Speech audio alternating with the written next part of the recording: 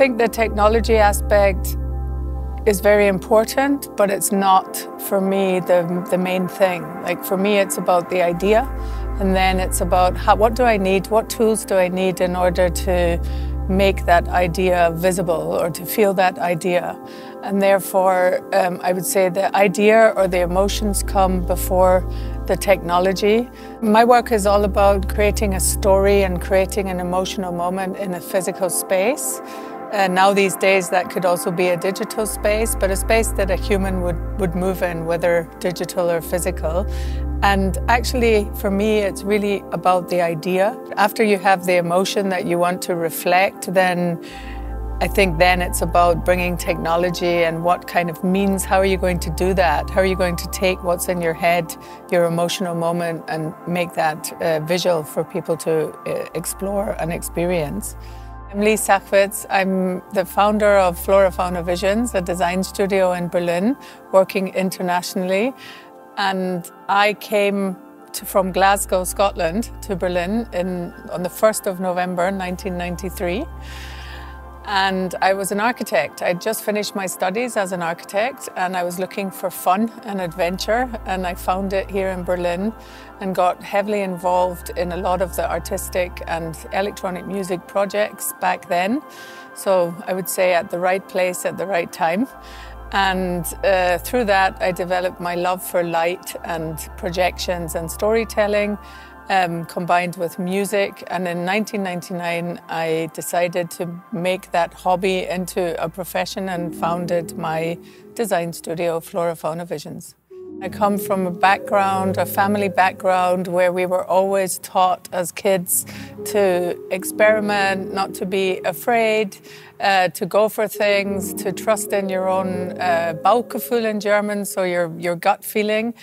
And now when I look back on that time, I realize that my dad was quite a big influence on me because in, when I was 14, he opened a space in Glasgow called the Videodrome but this was 1985, so we'd never really seen anything with projections or any of that stuff. And his concept was to kind of beam in different types of things like MTV videos or Super Bowl uh, live uh, finals and to show all this stuff on big video projectors.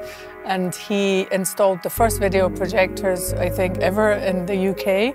I'm not sure about that, but uh, for me it felt like that at the time. And they had, you know, like the RGB, like the red, green, blue separated, these huge big things with these huge big lenses. And um, yeah, and my dad said, come, come have a look and let's hang out. And we would uh, hang out at the ground control, we used to call it, where there was a big, huge computer where you could type messages on a huge keyboard. And when I look back at that time later in the future, or now, or 15 years ago, I think like, oh, I didn't realize that actually that was going to influence me in the future.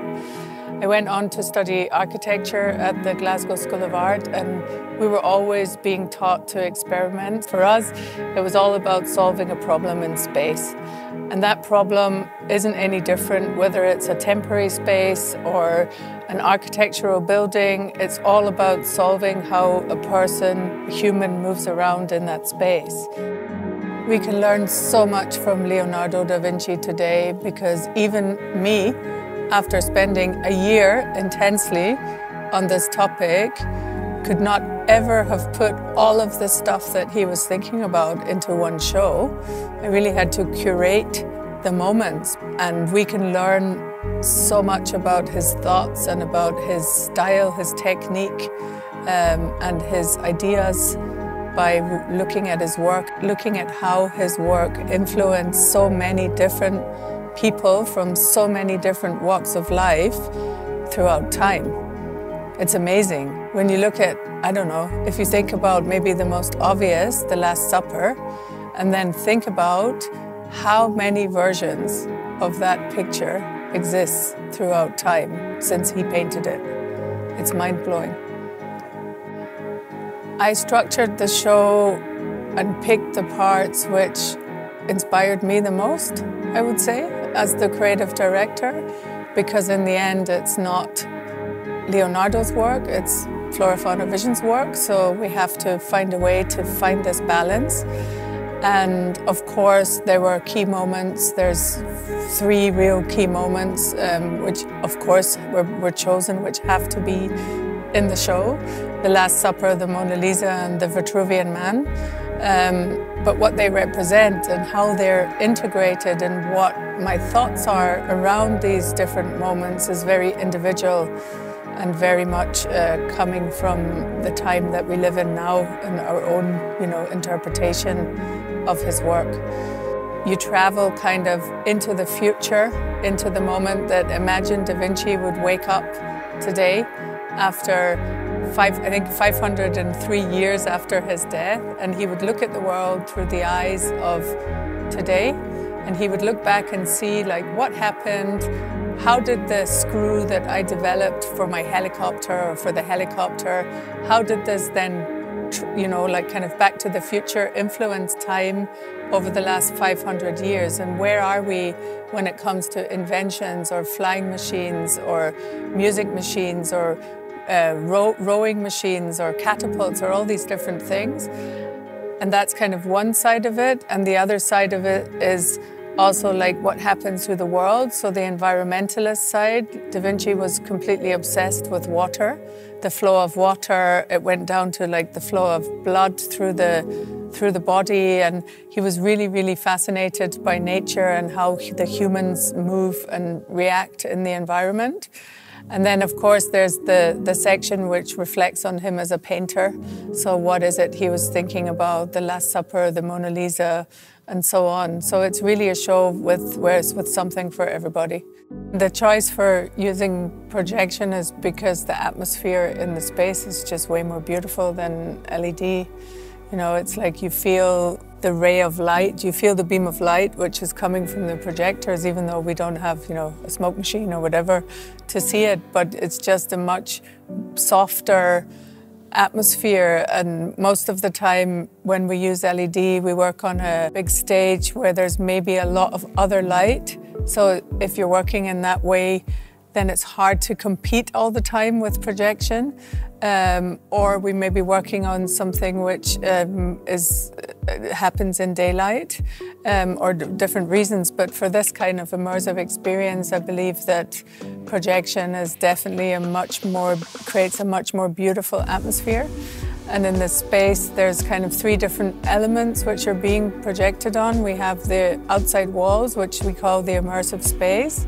Then we have the floor, so 360 degrees walls, complete floor, and in the center of the room we also have an object, and that's also being used um, for projection, which is really exciting because it means that you can't ever see the whole room at the same time which was very important for me because I, I wanted people to stay curious and I wanted them to move around. So you can sit down for a minute, but as soon as the next image happens, you're going to get up and move around because you want to see it from this side or from this side or from this side because there's always the, the centerpiece, which is in a way like helping you move around the space. We have a bunch of projectors in the rig um, for the walls and for the floors. And we have, of course, the entire space which is interactive. So we have all the sensors and the cameras and all this stuff in there as well. For the technical implementation of the Genius Immersive Experience, producer Borealis Interactive Group cooperated with other technical partners. On site, the team was supported by Pixway in the area of video technology and by Amptec for the installation of the D&B soundscape system. The massive projection area is over 1000 square meters. 32 Panasonic laser projectors of the type PTRZ 990 and PTRZ 120 were flown. In the background, a sophisticated system of Disguise VX4 media servers and Disguise RX2 is at work.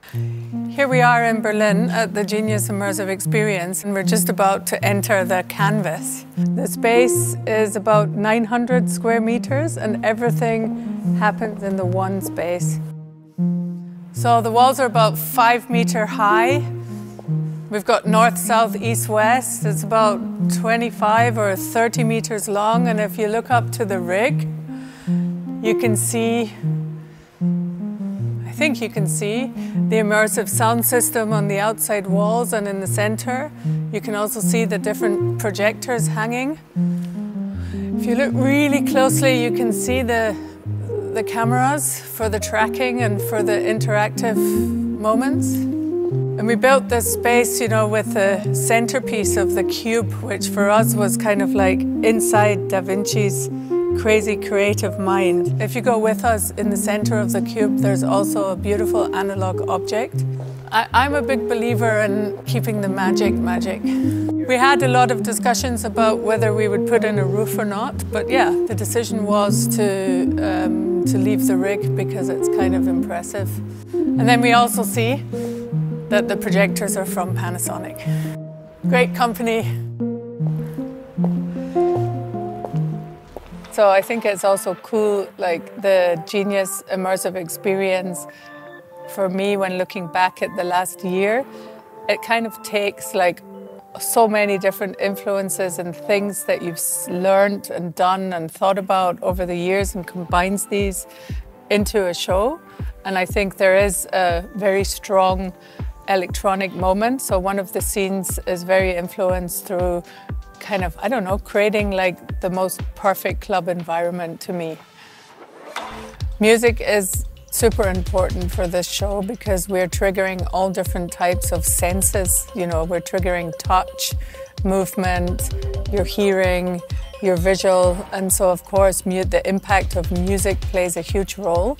And to do this, we teamed up with a wonderful producer from London, DJ Sasha. For Sasha, it was super exciting to work in this space. I believe it was the first immersive sound project that he'd worked on. And he was super excited to hear how, for example, you can have the soundtrack in the space, but when you walk up to the wall and there's something happening which you're going to interact with or where you're being invited to interact with, there's actually a specific sound happening there which you can hear, which triggers is being triggered by video. So we have many layers. You know, we have the soundtrack, which is created by by Sasha. We have the interactive sounds, and then we also have the special effects in the space. So we have a moment where the wave, a wave of water, kind of comes in, crashes into the center of the room, and this, for example, has a really powerful water, nature sound effect on it. So all these different layers together with the immersive sound system, there's 48 speakers inside the room positioned obviously very beautifully by DB Audio. Um, so, you know, it's really an immersive sound experience as much as it is a visual experience. The technical aspect of the show is completely customized for this space. In the process of implementing, there were about 17 versions of the software written as we went. So it was implementing, research development, problem solving, visually looking, feeling how it was, checking that it was working, writing an update, writing an update, and all this, this whole process was beta testing until we got to the final result. The project was created from the creative point of view using a VR system. So we had the opportunity as we moved through time and got closer to the images that we wanted uh, the show to be created with. Uh, we built a VR suite so that we could look in and move around and see how these images looked in space. The team at Flora Fauna Visions was about 25 different people in the creation team, from art direction to very specific uh, types of programmers or designers. So you'd have a Houdini artist for one certain element, an After Effects artist for another, and a notch developer for something else, and another part which is done in touch design and all of these different elements came together for us in a kind of 3D timeline that we built. So we had the, the show coded, so on time code. We built the room in cinema, so cinema 4D, and you could basically take a camera shot from the top and see the whole space, or you could zoom in and see just one corner. So we had the opportunity to look kind of from the eye of the visitor into the space, and we would map I think it was like one sixth resolution. So 20, yeah, 20% or no less. So 20% of the re resolution is what we would render out to look at, to see in the whole space on 3D. And then we would zoom in and render frames because of course with all these all these projectors the size of the project is huge so you have to work in this type of way in order to see what you're doing and to understand how this experience comes together ultimately it only comes together fully when you see it in the space that it's going to be shown in the combination of projection interactive technology augmented reality being able to really kind of paint your own pictures, being in a space where the soundtrack is very, very important and takes you on a journey. All these things are very important in order to spark, in the end, an emotional or create an emotional moment, which ultimately sparks the creativity in each and every one of us.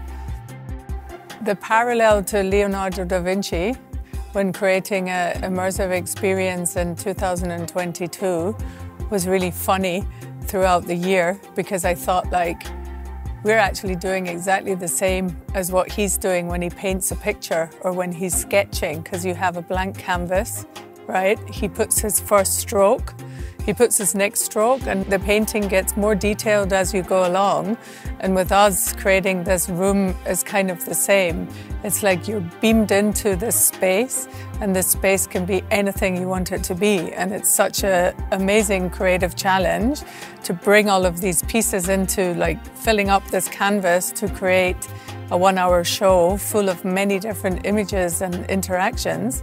So it's been an amazing creative journey for me and also like in a way a personal masterpiece.